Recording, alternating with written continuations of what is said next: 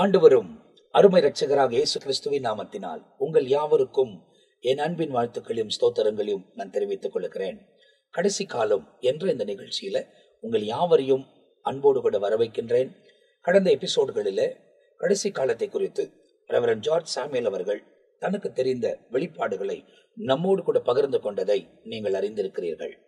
இந்த எபிசோடிலும் தேவனால் வல்லமையாய் பயன்படுத்தப்படுகிற ஆண்டவரால் கனப்படுத்தப்பட்டு பலருக்கு ஆசீர்வாதமாக இருக்கிற நல்ல ஜபிக்கிற ஒரு தேவ மனிதன் நம்மத்தில் இருக்கிறார். அவர் ஆண்டவர் அவருக்கு தந்த வெளிப்பாடுகளை நம்மோடு கூட பகிர்ந்து கொள்ள போகிறார். இந்த நிகழ்ச்சியை தொடர்ந்து பாருங்கள். ஆண்டவர் நிச்சயமாய் இந்த கடைசி காலத்தின் அனுபவத்துக்குள்ள உங்களை நடத்துவதற்கு அவர் சர்வ வல்லமை உள்ள தேவனா இருக்கிறார். ஒரு காரியத்தை நீங்க ரொம்ப தெளிவா இருந்து கொள்ள வேண்டும். முடிவின் ஆரம்பத்துக்குள் நாம் பிரவேசித்து பயணித்துக் கொண்டிருக்கிறோம். நாம் எச்சரிக்கையா இருந்து தேவ பிரசனத்தில் நம்மை காத்துக் கொள்வோமானால் நிச்சயமாய் ஆண்டவர் தம்முடைய கிருபைகளை நம்முடைய வாழ்க்கையை விளங்க பண்ணி இந்த உலகத்தில் வாழுகிற வரை காரியங்களை வாய்க்க பண்ணி நடத்துவதற்கு அவர் உண்மை உள்ளவராயிருக்கிறார். நேரடியாய் நம்முடைய தேவ மனுஷனை நம்முடைய ஊழியக்காரரை நாம் சந்திக்க போகிறோம். எல்லோரும் அன்போடு கூட நம்ம வர வைப்போம் இந்த நிகழ்ச்சியில் எங்களோடு கூட இருக்கிறது எங்களுக்கு ரொம்ப சந்தோஷம். இந்த கடைசி காலம் என்ற இந்த நிகழ்ச்சியில நீங்க வந்து பங்கு பெற்றது எனக்கு ரொம்ப சந்தோஷமா இருக்கு. அதே நேரத்துல இதை பார்க்கிற நேர்களுக்கும் இது கடைசி நாட்கள் எப்படி அப்படின்றது அவர்கள் தெரிந்து கொள்ள முடியாதுதான் இந்த நிகழ்ச்சிகள் தொடர்ந்து அவங்களுக்காக வழங்கப்படுகிறது. அப்போ உங்க கணிப்புல உங்க பார்வையில நாம் கடைசி காலத்தில் தான் இருக்கிறோம் அப்படின்பதை நாம் எப்படி வேதத்தின் வழியா பார்க்க முடியும்? இந்த வார்த்தைகளை நான் உங்களுக்கு சொல்வதற்கு முன்பு என்னையும் அழைத்து இந்த டெலிவிஷனுக்கு முன்பாக இருக்க வைத்து இந்த சம்பாஷணைக்குள்ளே நடத்துவதற்கு ஆண்டவர் கிருபை கொடுத்ததற்காய் தேவனை துதிக்கிறேன். இதனுடைய பொறுப்பாய் இருக்கிற உங்களுக்கு ஆண்டவருடைய நாமத்தில் என்னுடைய வாழ்த்துதலை நன்றி தெரிவித்துக் கொள்ளுகிறேன். கடைசி நாட்கள் என்று சொல்லும்போது இது சொல்லி தெரிய வேண்டிய அவசியமில்லை. சரி. கிறிஸ்தவர்களுக்கும் தெரியும். கிறிஸ்துவுக்கு அப்பாற்பட்டவர்களுக்கும் சரி. நாட்டு நடப்புகள் உலகத்தில் நடக்கிற சகல காரியங்களையும் பார்க்கும்போது எல்லாருக்குமே விளங்குகிறது. சரி. கடந்த வருஷத்தில் நடந்த சம்பவங்கள் அத்தனை எல்லா பிரிவினரையும் சரி. எல்லா பிரிவினருக்கும் இது கடைசி காலம்தான்.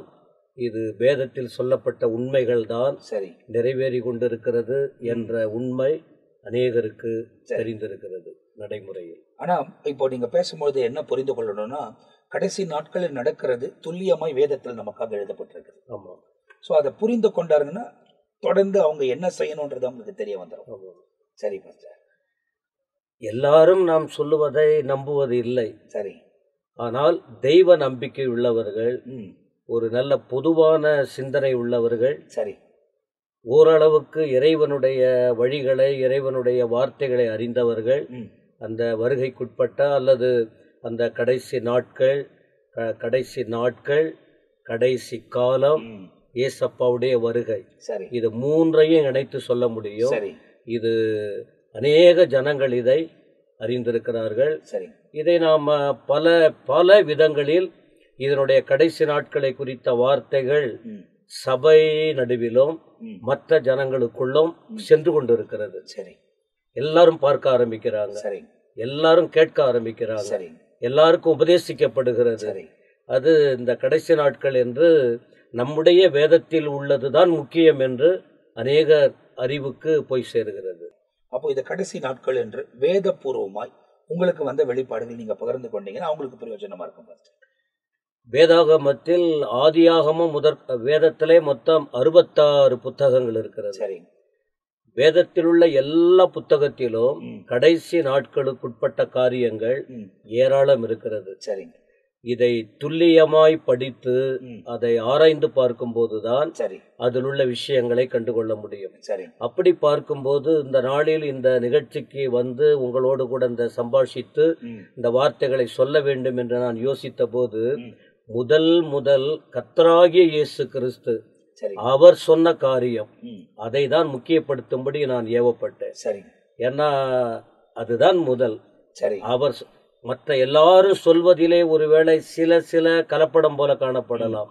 ஆனால் கர்த்தராகிய இயேசு கிறிஸ்துவார் அவர் சொன்னது அவர் சொன்னதை மற்றவர்கள் விளக்கும் போது சரி. அது நூற்றுக்கு நூறு உண்மையான காரியம். சரி. ஆனால் ஆண்டவர் இயேசு சொன்ன காரியங்களை குறித்து சிலவற்றை நான் சொல்லலாம் என்று விரும்புகிறேன். சரிங்க குறிப்பா மத்திய எழுதின சுவிசேஷம் சரி. இருபத்தி நான்காம் அதிகாரம் முழுவதும். இந்த கடைசி காலத்தைக்குட்பட்டதான காரியங்களை ஆண்டவர் எழுதியிருக்காரு. சரிங்க நிறைய விஷயம் அதுல இருக்கு. சரிங்க மத்தேயு இருபத்தி நாலு சரிங்க இதே வார்த்தைகள் மார்க்கு பதிமூன்றாம் அதிகாரத்திலும் சொல்லப்பட்டிருக்கு. ஆமா லூக்கா இருபத்தி ஓராம் அதிகாரத்திலும் சொல்லப்பட்டிருக்கு. இந்த விஷயங்களை பார்க்க முடியும். அதுல ஆண்டவர் இயேசு ஊழியத்தின் பாதையில் போயிட்டு ஒரு சந்தர்ப்பத்தில் ஒலிவமலை என்ற இடத்துல போயிட்டு உட்கார்ந்திருக்கிறார். அந்த இடத்துல சீஷர்கள் வந்து. அவரை பின்பற்றின சீஷர்கள் வந்து சரி. சில கேள்விகளை கேட்கிறார்கள். சரி. குறிப்பா மூன்று கேள்விகளை கேட்கிறார்கள். சரிங்க இந்த வருகையை ஒட்டியுள்ள. காரியங்கள். மூன்று காரியங்களை கேட்கிறார்கள். அப்ப அந்த கேள்விக்கு அவர் தெளிவாக அவர் பதில் சொல்ல ஆரம்பிக்கிறார். சரிங்க ஒரு குறிப்பிட்ட கா- அவர்கள் கேட்டது மூன்று காரியம். ஆனால் ஆண்டவர் இந்த உலகத்தில் நடந்த காரியம் நடக்க போகிற காரியம் நடந்து கொண்டிருக்கிற காரியம் கடைசி காலம்தான் என்பதை மக்கள் தெரிந்து கொள்ள வேண்டும். அதற்கு முன்பாக கூட இருக்கிறவர்கள் தெளிவடைந்தால் அவர்கள் அறிந்து பிறருக்கு சொல்லவும் அவர்கள் வாயிலாக பிறர் கற்றுக்கொள்வதற்கு.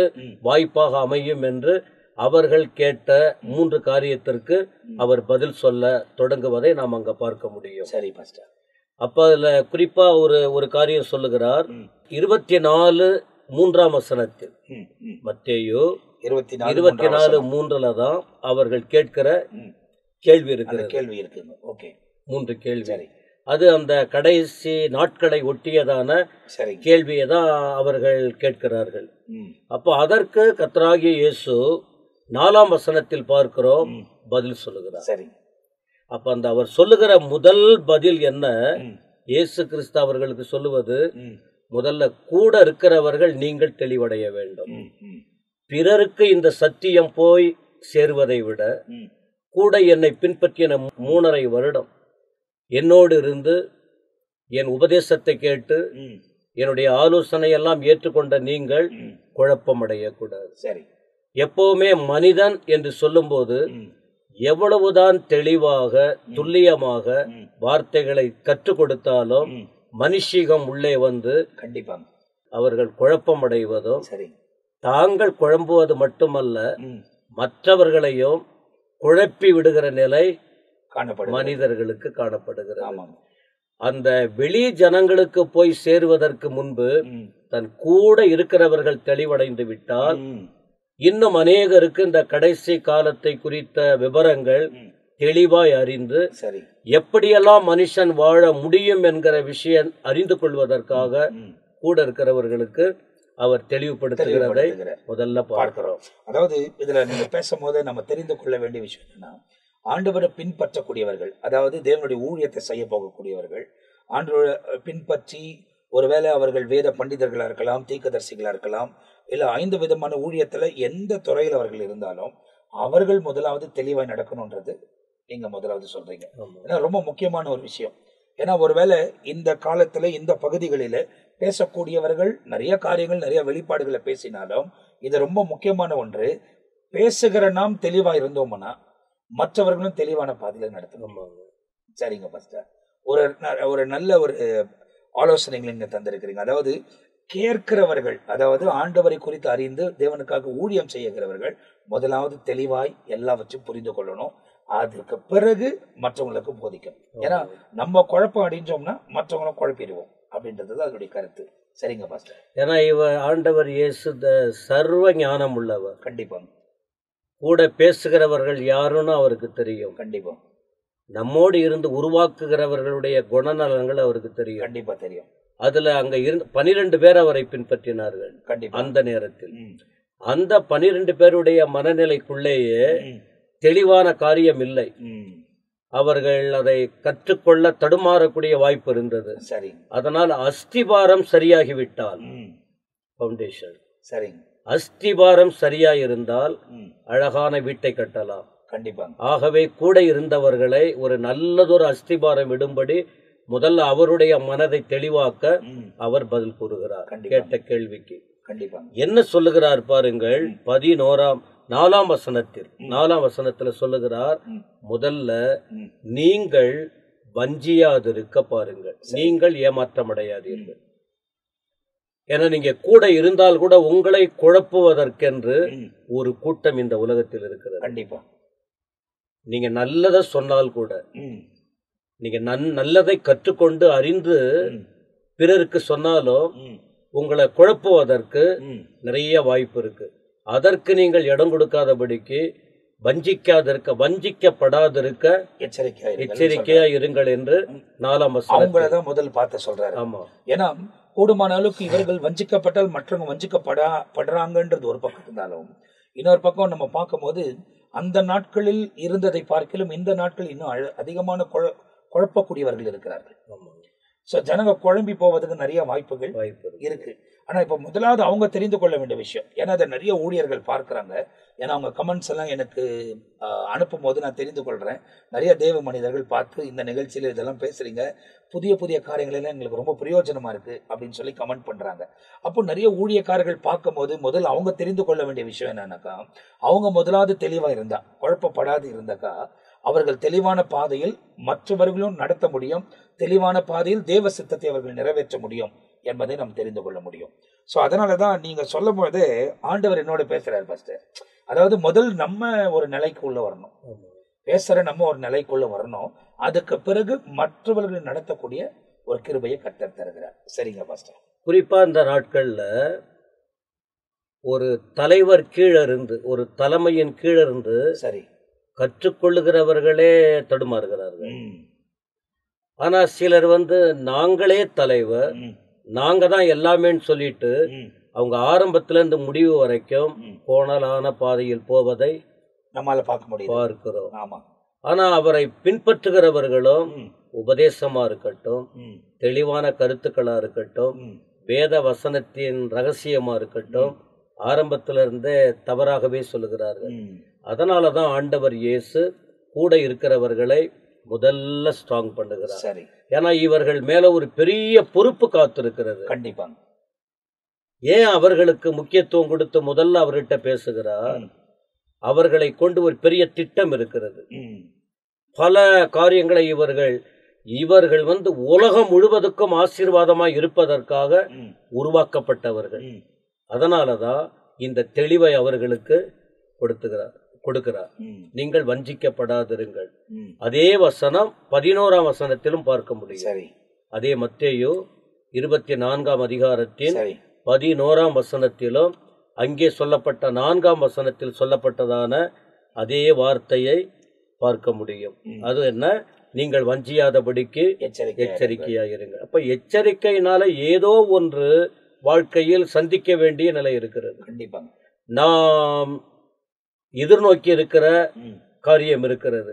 அதுல சிக்கி கொண்டால் தப்பிக்க முடியாது. மாட்டிக்கொள்ளுவோம்.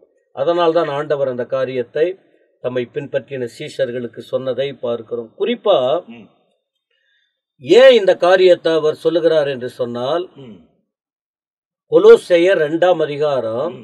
எட்டாம் வசனம் பதினெட்டாம் வசனம். சரிங்க. கொலோசையர் இரண்டாம் அதிகாரம் எட்டாம் வசனம் பதினெட்டாம் வசனத்தில் பார்க்கும்போது அப்போஸ்தலனாகிய பவுல் இயேசுவை பின்பற்றின இந்த சீஷர்களுக்கு பிறகு அடுத்து தேவனால் அழைக்கப்பட்டு நடத்தப்பட்ட அப்போஸ்தலனாகிய பவுல் அவர் ஊழியத்தின் பாதையில் கொலோசேங்கிற அந்த சபை.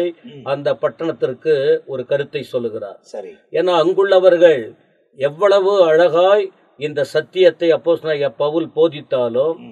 அந்த இடத்துல எப்பாபிரா தீத்து அப்படிங்கிறவர் தான் அந்த சர்ச்சினுடைய பாஸ்டர். சரி. கொலோசை பட்டணத்து போதகர் போதகர். எப்பாபிரா தீத்து ம், எப்பாபிரா தீத்து. தீத்து. சரி. போதகர். சரி. ஆனா பவுல் போயிட்டாங்க சபையை ஸ்தாபிக்கல. சரி. அந்த நாட்களில் தேவன் பவுலை அழைத்து ஊழியத்தில் பயன்படுத்தினதுனால இவர் இவர் ஆலோசனையின்படி அந்த போதகர் அந்த சபையை நடத்தி கொண்டிருந்தார். சரி. அப்ப அந்த நாட்கள்ல பயங்கரமான உபதேசங்கள். எது? இயேசு கிறிஸ்துவுக்கு மாறாக வசனத்துக்கு மாறாக படைப்பை குறித்தும்.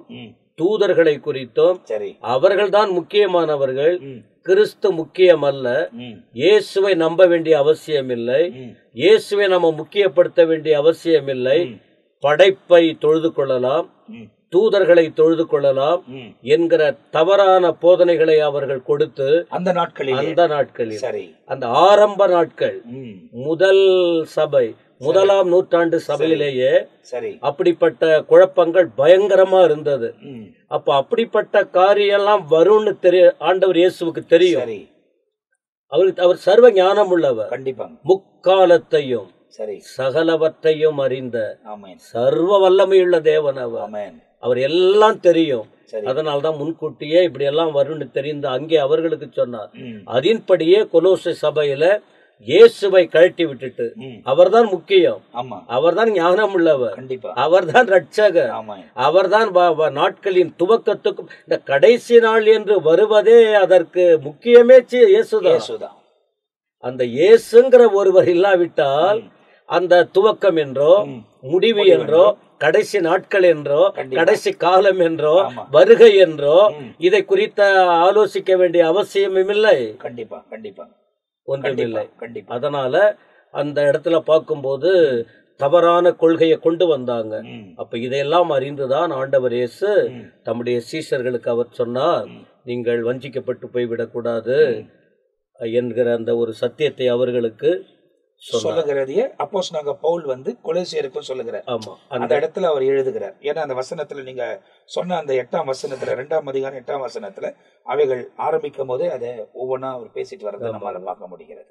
சோ ஒரு ஒரு காலத்துல நீங்க பாத்தீங்கன்னா முதலாவது நூற்றாண்டிலேயே இப்படிப்பட்ட ஒரு சம்பவம் அந்த இடத்துல ஏற்பட்டதினால அப்போஸ் நாங்க பவுல் இங்க எச்சரிக்கிறார். இப்ப நம்ம வாழ்ந்து கொண்டிருக்கிற இந்த காலத்துல நீங்க பாத்தீங்கன்னா அன்னைக்கு இல்லாத நிறைய கருவிகள் இன்னைக்கு இருக்கு. அன்னைக்கு கருவிகளே இல்ல. ஒரு செய்தி பரவணும் அப்படின்னா மனிதர்கள் மூலியமாக தான் பரவ முடியும்.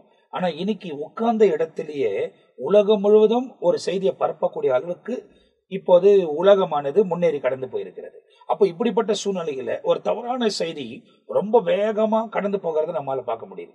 ஒரு சின்ன விஷயம் அப்படின்னா பாஸ்டர் சில நீதியான வசனங்களையோ செய்திகளையோ நீங்கள் ஒன்று ப்ரீமியர் போட்டு விட்டீங்க இல்லை ஒரு அப்லோட் பண்ணி விட்டீங்க அப்படின்னா அந்த செய்திகள் கொஞ்சம் ஜனம் தான் உங்களுக்கு வியூவர்ஷிப் கிடைக்குது. ஆனா ஒரு தவறான செய்தி வந்து அவங்க போட்ட ஒரு ரெண்டு மணி நேரத்துக்குள்ளேயே எத்தனையோ கே வியூ அப்படின்றது போகுது. அப்ப ஜனங்கள் தவறான காரியங்களுக்கு நிறைய செவி கொடுக்க ஆரம்பிச்சிட்டாங்க. இவங்களுக்கு சரியான போதனை கொடுக்க வேண்டிய ஒரு காலகட்டாயத்துல ஊழியர்கள் இருக்கிறாங்க. அப்ப ஊழியக்காரர்களுக்குள்ள அந்த தெளிவு வந்தாதான் நீங்க சொன்ன மாதிரி ஊழியர்கள் முதலாவது தெளிந்தார்னா அவங்க தெளிவான பாதையில அவங்களை நடத்த முடியும். ஏன்னா நம்மளே குழம்பிட்டோம்னா நம்ம இன்னொருத்தர் நடக்கிறதுக்கு முடிய முடியாது. கண்டிப்பா. சரி. அது ரொம்ப பிரயோஜனமா இருந்துச்சு பாஸ்டர். அப்ப தொடர்ந்து ரைட்டுங்க. எப்படி ஜனங்கள் வஞ்சிப்பார்கள்? சரி. ஐந்தாம் வசனத்துல பதில் கொடுக்கிறார். சரிங்க. இருபத்தி நாலு. இருபத்தி நாலு ஐந்துல சரி. அவர் ஃபர்ஸ்ட் முதல்ல அவர் சொல்ற பதில என்ன? என் நாமத்தை தரித்து கொண்டு சரி என்னதான் நீங்க பின்பற்றினீங்க சரி. உங்களை நான் உருவாக்கி கொண்டு இருக்கிறேன் சரி. எனக்காக உங்களை நான் பிரித்தெடுத்து ஒரு வல்லமையான ஊழியத்தை செய்ய ஆயத்தப்படுத்துறேன். எது குரு மேலேயே கைய வைப்பாங்கன்னு சொல்லுவாங்க. தலைவர் மேலேயே. அப்போ உங்களை இந்த சத்தியத்தை அறிவிக்க என்னுடைய ஊழியத்தை நிறைவேற்ற உங்களை அழைக்கும் போது என்ன உங்களை எப்படி வஞ்சிப்பாங்க. நானே கிறிஸ்துன்னு சொல்லுவாங்க. சரி. என் நாமத்தை தரித்து கொண்டு அவங்க நான் தான் கிறிஸ்து என்று சொல்லுவார்கள். அது வந்து அவர்களுக்கு சொன்னது மட்டும் இல்ல அந்த ஆரம்ப சீஷர்கள் எழும்பின அந்த நாள் முதற் முதலே இன்று வரைக்கும். அது அதிகரித்து கொண்டிருக்கிறது. கண்டிப்பா. நீங்க சொன்னது போல இந்த மீடியா. இதுல செய்திகள் தெளிவா போதிக்கிற போதகர்கள் இருக்காங்க. ஆமா. சரியான உபதேசத்தை ஆமா. அவ்வளவெல்லாம் சொல்லி கூட அன்று முதல் இன்றைக்கும் நான் தான் கிறிஸ்து. என்று ஆண்டவர் நாமத்தை மனிதர்கள். எடுத்துக்கொண்டு தவறான விதத்தில் செயல்படுகிறார்கள். ஆண்டவர் சொல்லியிருக்காரு.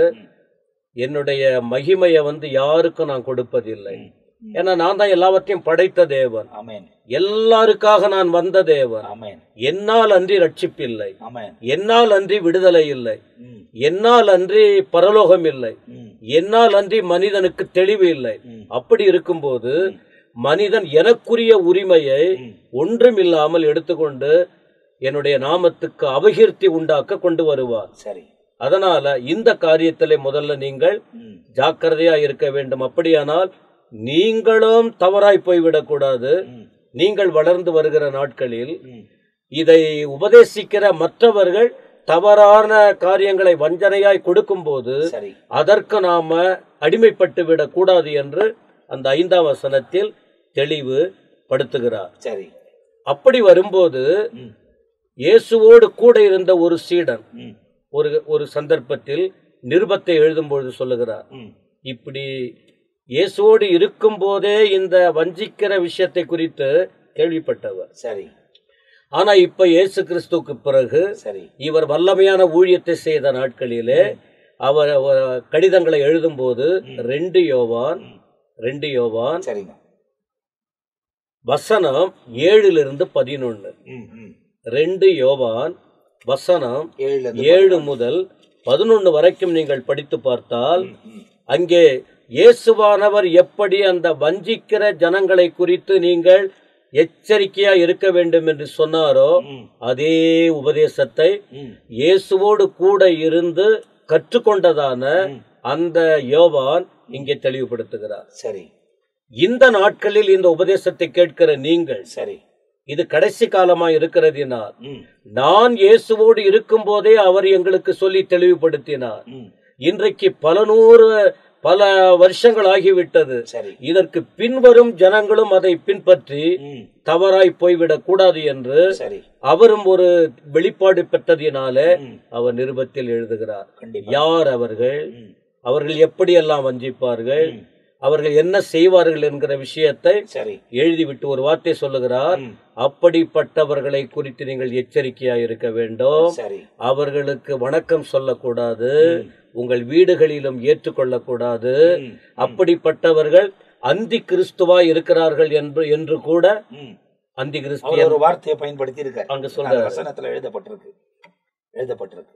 சோ அப்படிப்பட்டவங்களுக்கு கூட நீங்க என்ன பண்ணணும்ன்றது தெளிவா ஆமா. சொல்லப்பட்டிருக்கிறது. ஒருவேளை நம்ம அவங்கள நேசிக்கலாம். ஆண்டவர் சொன்னதை நேசிக்கலாம். ஆனா அவங்க உபதேசத்துக்கு வழி போகாமல் நம்ம ஆண்டவர் காண்பித்த வழியில நடக்க நடக்க வேண்டிய ஒரு காரியத்துல நாம் கடந்து போனோம் ஏன்னா இந்த காரியங்கள் நிறைய இந்த இடத்துல எழுதப்பட்டிருக்கிறதுனால எச்சரிப்பு. அப்ப இந்த எச்சரிப்பே வருவதற்கு காரணம் கடைசி காலம். கடைசி காலம். நம்ம கடைசி நாட்களில் இருக்கிறோம் என்பதை தெளிவுபடுத்துவதற்கு தான் ஆண்டவர் இவ்வளவு காரியங்களை நமக்கு வேதத்தில் எழுதி வைத்திருக்கிறார். நீங்க இந்த நிகழ்ச்சியின் ஆரம்பத்திலே நீங்க ஆரம்பிக்கும் போது சொன்னீங்க இயேசு ஒருவர் இல்லையானால் முடிவும் இல்லை ஆரம்பமும் இல்லை.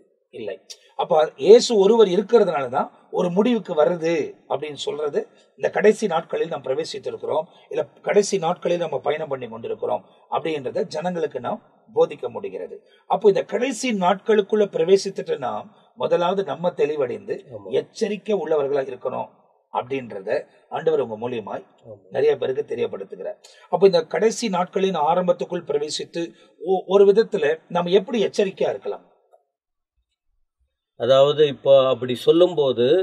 இப்போ முதலாவது கூட இருக்கிறவங்களுக்கு சொல்லி தெளிவுபடுத்தினார் சரி. பவுலும் மூலமாய் வெளிப்படுத்தினார் யோவான் மூலமாய் வெளிப்படுத்தினார். சரி. இப்ப நாம இருக்கிற சூழ்நிலைகளை பார்க்கும்போது நாம் எச்சரிக்கையா இருப்பதற்குரிய நிறைய காரியங்கள் தொடர்ச்சியாக அவர் சொல்வதை பார்க்க. முடியும். குறிப்பா. ஆறாம் வசனம் ஏழாம் வசனம் சரி. சரி. மத்திய இருபத்தி நாலு ஆறாம் வசனம் ஏழாம் வசனத்தில் நாம் பார்க்க முடியும். அதுல குறிப்பா யுத்தங்களையும் யுத்தங்களின் செய்திகள். செய்திகளையும் கேள்விப்படுவீர்கள். இப்ப நடைபெற்று கொண்டிருக்கு. கண்டிப்பா. அப்ப நாம இதை பார்க்கும்போது இது நம்ம கடைசி காலம். கடைசி காலம் என்பதை உணர்ந்து நாம் ஜாக்கிரதையா இருக்கணும். சரி. நாம் எச்சரிக்கையா இருக்க வேண்டும். சரி. இது எங்கே தூரத்துல போய் கற்றுக்கொள்வதல்ல இப்ப நம்ம கண் காண தெரிகிறது. யுத்தம் என்று வரும்போது முதல் யுத்தம் ஒன்று வந்தது. முதலாம் உலகமே உலக யுத்தம். அந்த நாட்களில் ஐந்து லட்சம் பேர் இறந்து போய் விட்டார்கள் சரி. அப்ப அந்த யுத்தம் எதை வெளிப்படுத்துகிறது? உயிர் சேதம். கண்டிப்பா. உயிர் சேதம். சரி. அடுத்த ஒரு யுத்தம் வந்தது. ரெண்டாவது இரண்டாவது உலக. மகா உலக யுத்தம். ரெண்டாவது. அதுல ஐந்து மடங்கு அதிகமாக ஐந்து மடங்கு அதிகமா அஞ்சு கோடியே. இருபது லட்சம் பேர் மறித்திருக்காங்க. சரி. ரெண்டாவது உலக யுத்தத்துல. அதன் பிறகு பார்த்தால் பல பல நூறு யுத்தங்கள் நடைபெற்று கொண்டிருக்கிறது. சரி. அதாவது இப்போ என்ன சொல்ல வர்றாங்க அப்படின்னா ஒரு மூன்றாம் உலக யுத்தம் நடக்கக்கூடிய எல்லா சூழ்நிலைகளும் அமைந்திருக்கு. ஏன்னா முதலாவது உலக யுத்தக்கும் ரெண்டாவது உலக யுத்தத்துக்குமே ஒரு பெரிய டிஃபரன்ஸை வந்து நமக்கு காண்பிக்கிறீங்க. ஒரு பெரிய டிஃபரன்ஸே வந்திருக்கு. பத்து மடங்கு அதிகமா அந்த டிஃபரன்ஸ் வந்திருக்கு. ஆனா இன்னைக்கு இருக்கிற அந்த மெக்கானிக்கல் வேர்ல்டுல இன்னைக்கு இருக்கக்கூடிய இந்த அதாவது கருவிகள் நிறைந்த இந்த உலகத்துல அதுக்கு என்ன நடக்கும்ன்றது நமக்கு தெரியாது. அதனால நாம் வந்து எச்சரிக்கையா இருந்து அந்த அந்த காரியங்களை தான் கொஞ்சம் கொஞ்சமா சொல்லி இது இது வந்து அன்றைக்கு சொன்னது மட்டுமல்ல என்றைக்கும் எப்படி ஆண்டவர் இயேசு நேற்றும் இன்றும் என்றும் மாறாதவராய் உயிருள்ளவராய் இருக்கிறாரோ அவர் கொடுத்த உபதேசங்கள் அவர் எழுதி கொடுத்த வேதாகமத்தின் வார்த்தைகள் எந்த நாளுக்கும் உரியது. அதனால இன்று அன்றைக்கு இருந்த ஜனத்தொகை குறைவு. ஆனா இன்றைக்கு பயங்கரமா இருக்கு. கண்டிப்பா. அப்போ ரொம்ப குறைவு. உலகம் முழுவதும் இப்ப எழுநூற்று ஐம்பது கோடி மக்கள் இருக்குன்னு சொல்றாங்க. இந்தியாவிலேயே நூத்தி முப்பத்தி அஞ்சுல இருந்து முப்பத்தெட்டு கோடி கூட சொல்லிக்கிட்டு இருக்காங்க. அப்ப அப்படி இருக்கும்போது ஒரு ஆத்மாவும் கெட்டு போயிடக்கூடாது. கண்டிப்பா. கடைசி காலம் இது. கண்டிப்பா. கடைசி நாட்கள் இது. தவறி போக வாய்ப்பு இருக்கிறது. அப்படி போகாதபடிக்கு அவர்கள் ஒவ்வொருவரும் அறிந்து கொள்வதற்காக தான் அன்றே இந்த காரியங்களை எல்லாம் ஆண்டவர் இயேசு கூட இருந்தவர்களுக்கு கற்றுக் கொடுத்தது மட்டுமல்ல அவர்களுக்கு மட்டுமல்ல. இன்று நாம் எல்லாரும் கூட அறிந்து கொண்டு இந்த செய்தியை கேட்கிற அன்பு சகோதர சகோதரிகளும் இப்படிப்பட்ட வசனங்களை கேட்டு நாம் கேள்விகளையே கேட்டுக்கொண்டு இல்லாதபடிக்கு ஆண்டவர் இயேசு கொடுத்த யார் நம்பினாலும் நம்பாவிட்டாலும் கர்த்தர் இயேசு வரப்போகிறார். இது அவர் சொன்ன கடைசி காலம் உண்மையானது. எல்லாரும் ஒத்துக்கொண்டிருக்கிறார்கள். அறிஞர்களும் சரி அறிவாளிகளும் சரி விஞ்ஞானிகளும் சரி உலகத்தில் தோன்றின தோன்றுகிறவர்களும் சரி யாரோ சிலர்தான் வாதம் பண்ணி கொண்டிருக்கிறார்கள் மற்றபடி ஏராளமான ஜனங்கள் இது கடைசி காலம் என்பதை அறிந்து உணர்ந்து செயல்படுவதனாலே இந்த சத்தத்தை கேட்கிற நீங்களும் கூட இந்த ஆலோசனைகளை கேட்டு உங்கள் இருதயத்தை ப- பக்குவப்படுத்திக் கொள்ள நாங்கள் இந்த நிகழ்ச்சியின் வாயிலாய் தாழ்மையோடு கூட கேட்டுக்கொள்ளுகிறேன். ஸோ இந்த நிகழ்ச்சியை பார்த்து கொண்டிருக்கிற நீங்கள் நம்ம அன்பு புதகரோடு கூட பேச பேச இன்னும் நிறைய காரியங்கள். அதுக்கு தான் இந்த கடைசி கால நிகழ்ச்சியில தேவ ஊழியக்காரர்களோடு கூட இணைந்து பேசும்போது ஆண்டவருக்கு அவங்களுக்கு தரக்கூடிய வெளிப்பாடுகளை நம்மோடு கூட பகிர்ந்து கொள்ளும் போது அந்த நிகழ்ச்சிகள் நமக்கு உண்மையாகவே ஆசீர்வதிக்கப்பட்டதாய் மாத்திரமல்லாமல் தொடர்ந்து நாம் எப்படி பயணிக்க வேண்டும் என்பதை காண்பிக்கிறது. கடைசி காலத்தில் ஆண்டவர் சொன்ன காரியங்களை அன்பு போதகர் நமக்கு ஒரு சில காரியங்கள் விளக்கி சொல்லியிருக்கிறார். நிறைய பேர் பிரசங்கம் பண்ணியிருக்கலாம். ஆனால் முதலாவது நாம் தெளிவு இல்லைனா நான் பேசிக்கொண்டே இருக்கும் போது எனக்கே ஆண்டவர் பேசுகிற காரியம் நான் தெளிவா இல்லைன்னா நான் தெளிவானது உங்களுக்கு போதிக்க முடியாது. முதலாவது எனக்குள்ள ஒரு தெளிவு இருக்கணும். அந்த தெளிவில் நான் நிலைச்சு நிற்கணும் அதுக்கு பிறகு உங்களுக்கு போதிக்க ஆரம்பித்தேனால் தெளிவான பதவும் நடத்த முடியும். அடுத்தது எச்சரிப்பு. ஆண்டவர் எச்சரிக்கிறார். ஒருவனும் உங்களை வஞ்சிக்காதபடி எச்சரிக்கையாயிருங்கள் அப்படின்னு சொல்லி இயேசு எச்சரிக்கிறதை வேதாகமத்தில் சொல்லப்பட்டிருக்கிறது. ஒன்று நம்ம தெளிவாயிரணும். அடுத்தது உலகத்தில் வரக்கூடிய காரியங்களுக்கு நம் வழுவி போகாமல் எல்லாவற்றையும் செவி கொடுத்து நம்முடைய ஆத்துமாவை கெடுத்து போடாமல் தெளிவானவைகளுக்கு செவி கொடுத்து வசனம் சொல்லுகிறபடி அன்பு போதகர் கடைசியை சொல்லும் போது ஒன்று சொன்னாங்க. கேள்வியே கேட்டுக்கிட்டு இல்லாம ஆண்டவருடைய வசனங்களை செவி கொடுத்து கேட்க ஆரம்பிக்கும் போது ஆண்டவர் தம்முடைய வல்லமையை விளங்க பண்ணுவார் நீங்க நல்லா யோசித்து பாருங்க. வேதத்தில் உள்ள எல்லா பரிசுத்தவான்களும் ஆண்டவர் அவங்களோட கூப்பிட்டு பேசும்போது இதோ அடியேன். அவங்க சொன்னது அவ்வளவுதான். மீதி எல்லாம் ஆண்டவர் தான் அவங்களோட பேசினார். அதனால தான் அவங்க நாள் அவங்க வாழ்க்கை ஜெயமாய் முடிவதற்கு காரணமா இருந்தது. ஆனா இன்னைக்கு நம்ம நிறைய கேள்வி கேட்க ஆரம்பிக்கிறோம். ஏன் இது எப்படி வந்தது? என்ன பண்ணணும்? இது ஏன் அது சொல்லி நிறைய கேள்வி கேட்பதினால நாம் வளர்ந்து முன்னேறி கடந்து போக முடியாது. உண்மையான போதனைகள் வேதத்தில் இப்படி கொடுக்கப்படும் போது அதை பிடித்து கொண்டு உங்களை நீங்கள் அர்ப்பணித்துக் கொள்ளும் போது ஆண்டவர் தொடர்ந்து நடத்துவார். இந்த நிகழ்ச்சியானது ரொம்ப ஆசீர்வதிக்கப்பட்டதாய் நம்ம எதிர்பார்க்கிறதோட இன்னும் அதிகமான வெளிப்பாடு உள்ளதா இருக்கிறது. தொடர்ந்து எங்களோடு கூட இந்த நிகழ்ச்சியில பார்த்துருங்க. நாலாவது எபிசோட நாங்கள் இதோடு கூட இந்த இன்றைக்கு முடிக்கிறோம். ஆனா தொடர்ச்சியாய் நாம் எப்படி எச்சரிக்கையா இருக்க போகிறோம்? ஒன்று ஆண்டவர் எச்சரிக்கையா இருன்னு சொல்றாரு. நம்ம எப்படி எந்த காரியங்கள் எல்லாம் எச்சரிக்கையா இருக்கணும் அப்படின்னு சொல்லி தொடர்ந்து பேச போகிறோம். அடுத்த நிகழ்ச்சிக்காக காத்திருங்கள். உங்க கருத்துக்களை எங்களுக்கு தெரியப்படுத்துங்கள். இந்த நிகழ்ச்சி முடிவுக்கு முன்பதாய் நாங்க உங்களுக்காக ஜெபிக்க போகிறோம். அன்பு போதகர் அவங்க இந்த முதலாவது எபிசோட்ல உங்களுக்காக ஜெபிப்பார். பரலோக தகப்பனே உம்மை துதிக்கிறோம். இந்த நல்லதொரு வாய்ப்புக்காக ஸ்தோத்திரம். ஸ்தோத்திரம். இந்த வார்த்தைகள் அநேகர் கேட்டிருக்கிறார்கள். ஸ்தோத்திரம். அவர்கள் எந்த நிலையில் இருக்கிறார்கள் எங்களுக்கு தெரியாது. ஆனால் குழப்பத்தோடு இருக்கிறார்கள் எங்களுக்கு தெரியும். சிலர் கலங்கி கொண்டிருக்கிறார்கள். எவ்வளவு வார்த்தைகளை கேட்டு என்ன செய்வதென்று தெரியவில்லை என்கிற நிலையில் இருக்கிறார்கள். இந்த வார்த்தை அவர்களை தொட வைப்பி. அவர்கள் வாழ்க்கையை மாற்றுவி. அற்புதங்களை செய்வி. கடைசி காலத்தை குறித்த தெளிவை உருவாக்குவி. உம் வழியில் நடக்க. உண்மை தெய்வத்தை பிடித்துக் கொள்ள கிருபை கொடுப்பி ஆமென். எல்லாவற்றுக்கும் மேல அவர்கள் வாழ்க்கையில் உள்ள எல்லா சூழ்நிலைகளை மாற்றி அவர்களை ஆசீர்வதிக்க நீர் வல்லவராய் இருக்கிறதற்காக ஸ்தோத்திரம். ஸ்தோத்திரம். அனைவரையும் ஆசீர்வதியும். அனைவரையும் ஆசீர்வதியும். இயேசு கிறிஸ்துவின் நாமத்தில் வேண்டிக் கொள்கிறோம் பிதாவே. ஆமென். ஆமென். ஆமென். பிரியமானவர்களே இந்த நிகழ்ச்சி உங்களுக்கு ஆசீர்வாதமா இருந்திருக்கும் என்று நான் நம்புகிறேன். நீங்க உங்க கருத்துக்கள் எங்களுக்கு தெரியப்படுத்துங்கள். அதே நேரத்தில் இதை மற்றவங்களோட ஷேர் பண்ணுங்க. யூடியூப் சேனலை சப்ஸ்கிரைப் பண்ணுங்க. ஆண்டவர் நிச்சயமாய் உங்க வாழ்க்கையில இன்னும் அநேக ரகசியங்களை அவர் கொண்டு வந்து உங்களோட பேசுவதற்கு உண்மை உள்ள தேவனாயிருக்கிறார் தொடர்ந்து இன்னொரு எபிசோட்ல உங்களை சந்திக்கிற வரை உங்களிடத்தில் நாங்கள் விடைபெறுகிறோம். கர்த்தர் உங்களை ஆசிர்வதிப்பாராக. ஆமேன். ஆமேன்.